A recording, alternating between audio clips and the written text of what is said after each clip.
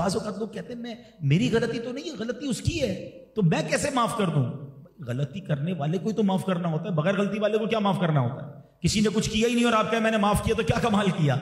माफ़ी करना ही उसको जिसने हमारा दिल तोड़ा है या हमें तकलीफ़ पहुंचाई है। आप माफ़ी का सवाब कमाइए और ये ना सोचो कि वो पहले आकर माफ़ी मांगे। हमारी मेमनी का तो बड़ा प्यारा जुमला है ना, बचपन से सुनते आ रहे हैं, जो नमियों, वो अल्लाह के गमियों।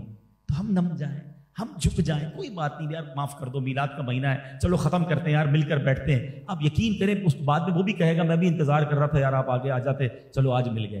तो रिश्तेदारियाँ तोड़ के ना बैठे।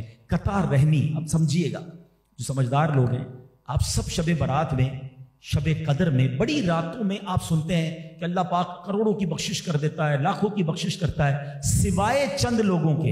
एक लिस्ट आती है, हदीसों के ज़रिए। हर लिस्ट में रिश्तेदारी काटने वाला होता है। कि जो रिश्तेदारों से कतार रहमी करने वाला है शब बारात भी नहीं बख्शा जाता, शब कदर भी नहीं बख्शा जाता। इसका क्या मतलब है? कि अल्लाह के नज़दीक कितना बड़ा गुनाह है। मगर यहाँ तो जनाब छोटी छोटी बात पर दूरियाँ